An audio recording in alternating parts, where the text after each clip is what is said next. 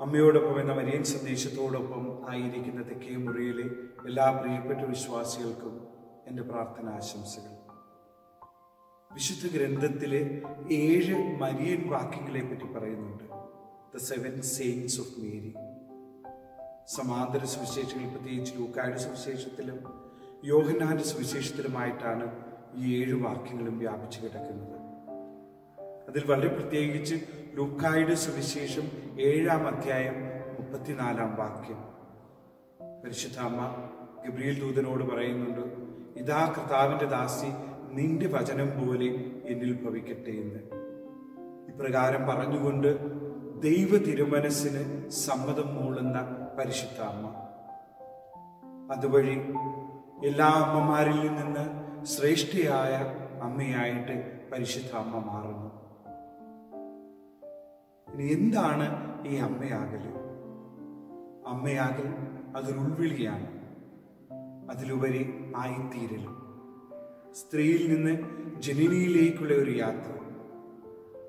സഹനത്തിന്റെ ഇടവഴികളിലൂടെ കടന്നു ചെന്നുകൊണ്ട് പൂർണമായി തന്നെ തന്നെ സമർപ്പിച്ച് ദൈവഹിതത്തിന് ദൈവഹിതത്തിന് തന്നെ തന്നെ സമർപ്പിച്ചുകൊണ്ട് മറ്റുള്ളവർക്ക് വേണ്ടി ആയിരിക്കുന്ന അവസ്ഥ. ഇനി ഈ യാത്ര എപ്രകാരമായിരുന്നു അമ്മയുടെ ജീവിതത്തിൽ എന്ന് കാണാം. ദൈവത്തിന്റെ അമ്മയായി അമ്മയാകുവാൻ വിളിക്കപ്പെട്ടിട്ട് കൂടി ഈ യാത്ര പരിശുദ്ധ അമ്മയുടെ ജീവിതത്തിലും അത്ര കണ്ട് സുഖകരമായിരുന്നില്ല എന്ന് വിശുദ്ധ ഗ്രന്ഥം നമുക്ക് സാക്ഷ്യപ്പെടുത്തുന്നു. സഹനത്തിന്റെ തീച്ചൂളയിലൂടെ കടന്നു ചെല്ലുന്ന അമ്മ. നൊമ്പരത്തിൽ വല്ലാണ്ട് നൊമ്പരത്തിലൂടെ വല്ലാണ്ട് നൊന്തു നീറുന്ന അമ്മ. സഹനത്തിന്റെ വെലിക്കലിൽ നൊന്തു നീറി വല്ലാണ്ട് സങ്കടപ്പെട്ടു പോകുന്ന അവസ്ഥയിലൂടെ ഒക്കെയും പരിശ്രമ കടന്നു പോകുന്നുണ്ട്. തന്റെ മകനെ കൊല്ലുവാനായിട്ട് തക്കം പാർത്തിരിക്കുന്ന പരിശീലും സതുച്ചീയരും സമൂഹത്തിലെ പ്രമാണിമാര് അവസാനം എല്ലാ സഹനത്തിലൂടെയും കടന്നു കടന്നുപോയിക്കൊണ്ട് കുരിശിലേക്ക് കുരിശിൽ തറയ്ക്കുവാനായിട്ട് വിധിക്കപ്പെടുന്ന തന്റെ മകന്റെ വിധിയോർത്ത് നൊമ്പരപ്പെടുന്നുണ്ടെങ്കിലും ഒരിക്കൽ പോലും പിതാവിന്റെ അടുത്ത് അവൾ ചോദിക്കുന്നില്ല. എന്തുകൊണ്ട് ഞാൻ? എന്തുകൊണ്ട് എനിക്ക് ഈ അവസ്ഥ എന്ന്?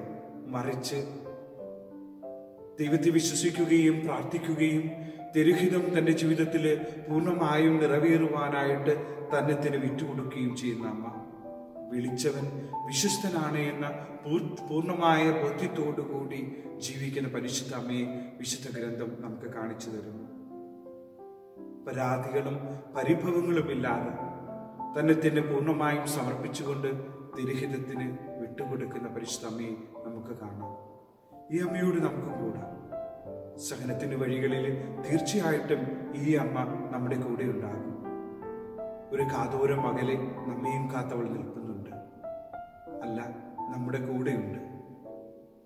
നമ്മുടെ നമ്പരങ്ങളിലും പ്രയാസങ്ങളിലും തിരുക്കുമാരനോട് ഇടപെടി ഇടപെടുക എന്ന് പറഞ്ഞുകൊണ്ട് തന്റെ പ്രിയസുതനെ നമ്മുടെ ജീവിതത്തിലേക്ക് ഈ അമ്മ പറഞ്ഞു വിടും കനായിലെ കല്യാണ വിരുന്നിൽ അവരുടെ ആവശ്യം കണ്ടറിഞ്ഞ് അവരുടെ ആവശ്യത്തിലെ അവരുടെ കുറവ് നിറവാക്കി മാറ്റുവാനായിട്ട് തന്റെ പ്രിയനെ പ്രിയപുത്രനെ പറഞ്ഞയക്കുന്നത് പോലെ.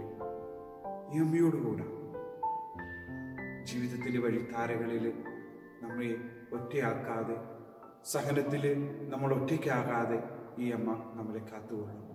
എല്ലാവർക്കും ഒരിക്കൽ കൂടി പ്രാർത്ഥനാശംസ.